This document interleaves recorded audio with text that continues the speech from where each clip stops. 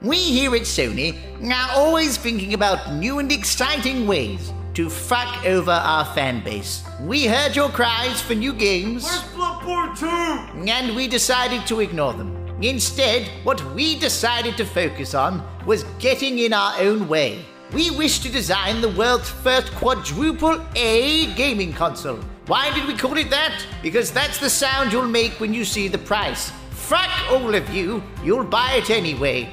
This is the PS5 Pro, the future of mediocre gaming.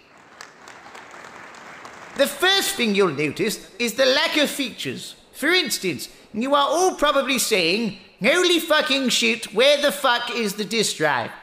We don't know. But you might also notice these lines right here. What are these? Well, these were meticulously designed to replicate the lines of coke that we were doing in the back when we designed this thing. I did several lines of a hooker's clunge that day. It was fucking awesome. But unfortunately, we didn't stop there. Look here. This is a 3D composite render of an NPC on the PS5 currently. And here is that same model on the PS5 Pro. Amazing. Oh my god. Oh my god. Yes. Oh god. Yes, the only thing higher than our pixel count is Lizzo's cholesterol. But how do the games look in motion? Well, look here. Here is a game pushing our PS5 console to the limit.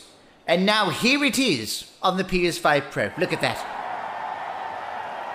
And also, here is some gameplay of PlayStation 4 games that are more than three years old at this point for our brand new system.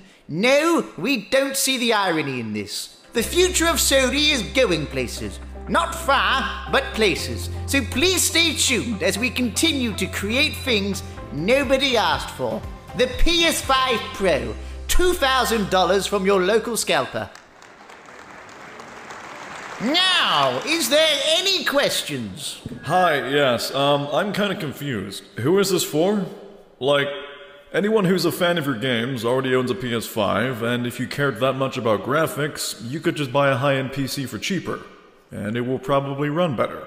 I'm here for the games, so, um, where is Parappa the Rapper free? Games? Oh shit. Um, did somebody say The Last of Us 2?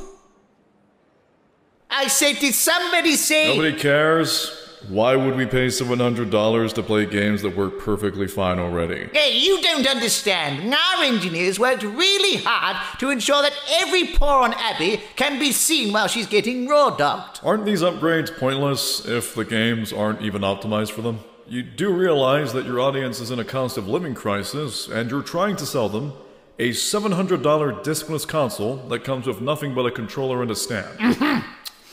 Hmm. What do you mean it doesn't come with the fucking stand? The original comes with a stand, a disk drive, and it's half the price. Your pro version can't even stand up. Fuck you! Our sweatshop workers produce top quality plastic stands. So, what you're selling to us is a console that your audience already owns a version of, that most developers will not optimize their games for, and whose biggest selling point is how it can make a four year old game look a bit better. Exactly. What part of this aren't you getting? All of it? Well, will you say that Now do you see our biggest announcement? Oh god, there's more? Here is Forza Horizon 7 That's Gran Turismo. looking like fucking dog shit on the PS5. And here it is on the PS5 Pro.